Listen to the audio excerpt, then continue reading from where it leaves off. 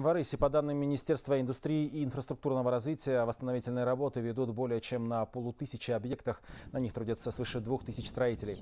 Задействованы все 17 регионов и городов республиканского значения. Наиболее пострадавшие районы закреплены за акиматами Трауской, Туркестанской, Карагандинской, Павлодарской и Жамбылской областей. В городе развернули мини-цеха по изготовлению пластиковых окон. Отсюда их сразу поставляют на стройплощадки. По поручению Ельбасы и главы государства все поврежденные и разрушенные объекты должны быть быть сданы до 1 августа.